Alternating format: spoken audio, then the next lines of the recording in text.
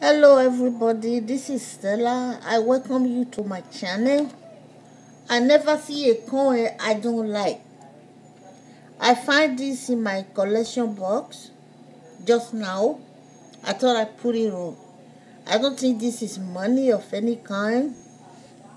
It said the, the world largest carousel. And uh, the house on the rock okay. I don't believe it's money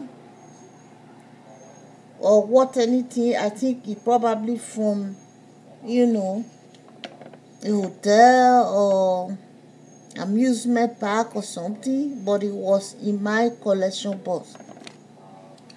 So i put it up. Like i said i never see a coin. I never keep in my collection box so i'm going to upload this on my collection board you guys let me know what you think about this one. So i have no i don't have anything to say but i believe it's from us or something.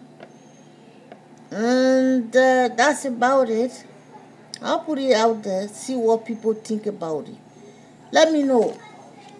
Thank you all for watching. Have a great day. Bye bye